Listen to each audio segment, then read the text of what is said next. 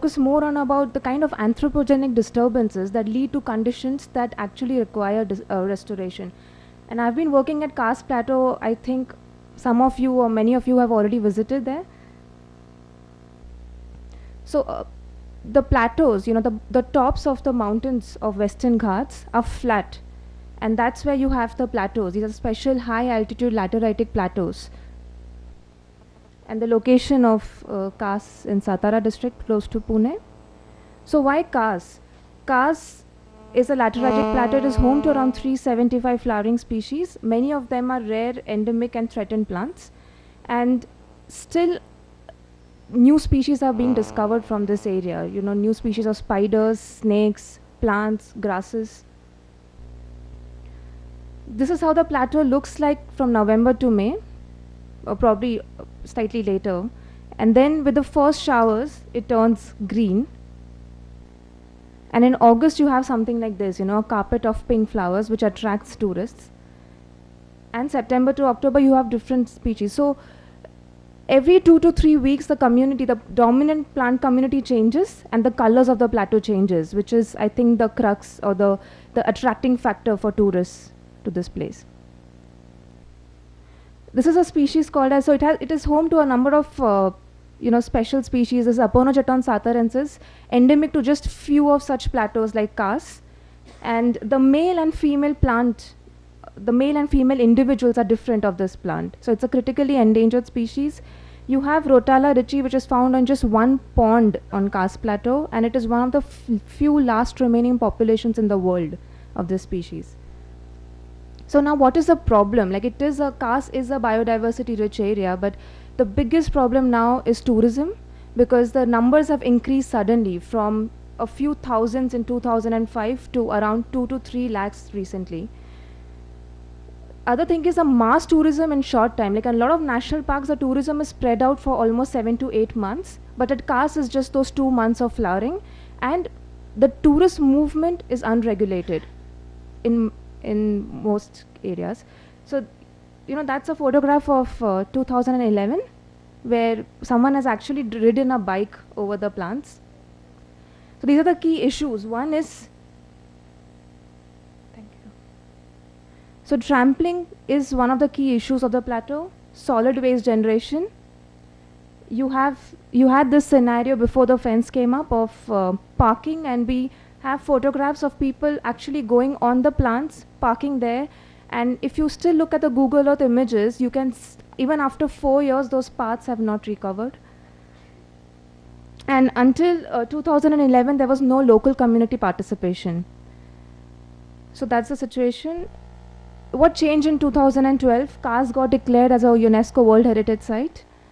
A JFMC was formed, that is a joint forest manage communi management community to involve the local people. And a fencing was made up. There was a lot of objection regarding the fencing, but th the forest department, I think, has taken caution. Like they have left a 45 centimeter gap, so to allow large, uh, to you know, to allow animal movement and during the off season they they open up certain parts of the fence to allow movement of cattle for grazing so destruction of plateau was checked by regulating tourist movement. This is a photograph of Panchgani tableland if you've been to Panchgani so Panchgani was a lot like Kas a few years ago. And because of tourism pressure pressure now the most of the native vegetation flora has been wiped out. So uh, what uh, Due to fence, what was done was the plateau was divided into three zones, A, B, and C, and there are no tourists allowed in the C zone, which is a conservation zone. The local people collect 10 rupees per person. So this is, you know, to give employment to the locals and, uh, in, you know, provide economic benefits of tourism to the local communities. Uh, these are the man days and uh, the, so from 7 lakh 40,000, the income is now 17 lakh 40,000 there are a number of people employment generation we have been conducting regular guide trainings for the people for the locals there who now work as guides there are 15 trained guides and a lot of locals they now are helping in the conservation of critically endangered species. Lpg gas has been distributed. There is a no parking zone on the plateau. Parking has been created away. Outreach material is developed. A lot of awareness boards were there. So uh, one key issue that I said was of solid waste management. So day uh, last in 2013, what we started was we started a joint program between the local, the forest department, the JFMC and the nature tourist organizations. So where the locals used to collect the waste, segregate it, weigh it and tie it in bags. So that's the amount of waste generated last year. And they kept the bags ready and a number of tourist organizations from Pune and Mumbai volunteered to take the waste back and this year we have prior bookings done where you know the tourist organizations they say okay this Sunday we are coming we would like to take the waste back. So this is not a, an ultimate you know solution to the waste problem. The ultimate solution would be reduction in waste but this is at least the storage time of waste in the natural area has been reduced. There's a homestay built up uh, near Kas but now I would like to really focus on what is the you know what my research has shown my my work was on trampling. So I asked a basic question four years ago if people are walking on the plants.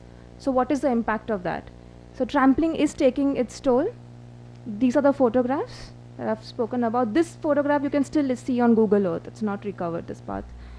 So we did an experiment where, uh, so this was a control, then there were 25 passes, so 25 times a person walked over them, 75 times, 200 times, and you can see 500 times what happens. Compare this plot with this plot. There is no vegetation left. And imagine in Kas, this is just 500 passes, and at Kas we record a number of 1,50,000 people walking on a single path. So the amount of soil compaction that is taking place, and we then monitor these plots. I've been monitoring them since the past two years, and the results are scary because a lot of the herbaceous communities are now reducing and the grass community is becoming dominant and if the present kind of tourism continues, then I would expect that the soil would get very compacted and the community will change, the native community. And this is another thing that says that trampling damage during flowering and seed periods for plants can have a greater effect than during non-reproductive periods. And the most, and you know, the trampling impact is most when the conditions are wet than when dry. And both of these are true for Kas. People come in the monsoon when it is wet conditions and the plants are flowering. So when you walk over these, the impact is much more than in a drier season. So we came to solutions where we identified a path that had been trampled and it, it actually shows most of the species that people want to see.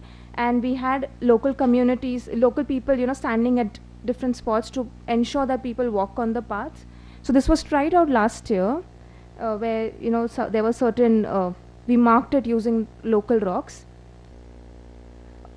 so there were these certain boards put up, but was it successful? This was the situation.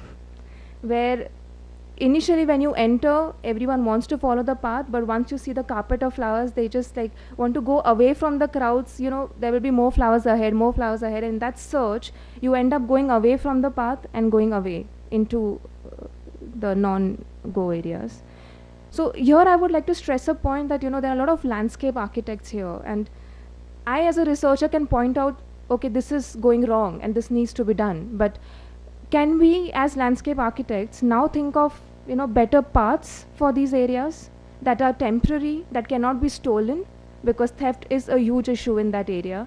Then there are homestays coming, there's a homestay built up by a local which is very basic. So can we provide them inputs of how to make it attractive? Because another problem is there are a lot of resorts coming up around Kas. So it's not just Kas that's an issue. The entire area around has been sold off. It's all private lands. A lot of resorts coming up, and in the ne next five years, I would see a situation similar to Mahabaleshwar near Kas.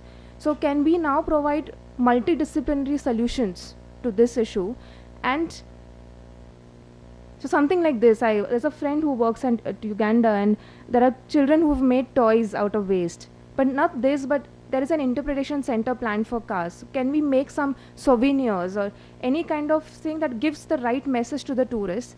And see, there are a number of lateritic plateaus throughout Maharashtra. I'm looking at it from the point of view, can we make Kas as a model of ecotourism? Because now more and more plateaus are going to be opened for tourism. So can we make it as a model so then that model is replicated in other areas? So we need to think beyond ecology we have now is the need for a multidisciplinary approach. a number of volunteers who worked with me and who are still working with me. And thank you so much.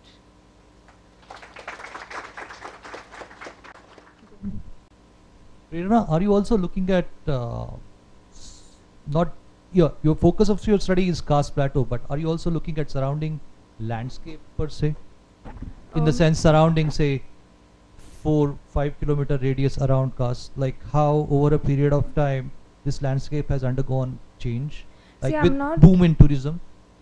Yes, so I'm not really doing a systematic study on it, I would say, uh, but I have been docu- keeping a record of what's happening.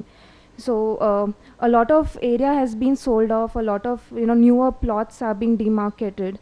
Then uh, when you go towards Kas from Satara, there used to be a smaller plateau near Petri, which used to be you know full of flowers, and there have been trenches dug up there. So a lot of changes are happening in the surrounding landscape as well. That's But true. do you attribute that to tourism? A lot, yes, I would say yes. Yes. Yeah, so uh, in uh, 2012, there's a scientist called Aparna Watve who's the pioneer of you know work on lateritic plateaus. So she had a grant where we did surveys in the nearby villages. We documented of the number of hotels that have come up, the economic perspective of these hotels, and and one interesting point that came up that a lot of these surrounding villages they are they have natural springs of for water and the source of you know of recharge for this could be the plateau itself so there's any kind of contamination on the plateau then it will affect their water source as well has been uh, there has been a proposal where uh, from the apiculture institute they are planning but it's not been taken ahead like i remember there was a meeting with the forest department about the apiculture Uh, you have shown some results of trampling by human and uh, the car tires. Uh, what have you found about trampling by the cattle? So i've buffalo, not buffalo Uh, yeah, so actually, I've not really looked at it. My focus was human trampling, but I can just tell you what the locals tell me. According to them, so they feel if trampling is if trampling by grazing, if grazing is completely stopped, then that would affect the flowering because they feel that in the initial stages, if the cattle feed on the plants and there are more branches that come off and there is more flowering, and also the dung adds to the nutrients. So, whereas there is no study done as such on what levels of grazing can be permitted. Because if you see the weight of buffalo and area of the uh, uh, the foot is much more than the human and the That's true. Yes, yes, yes. But here my assumption has been that the grazing has been constant throughout these years. It's there for so many years, but tourism is a recent factor. So that's why I'm looking at tourism.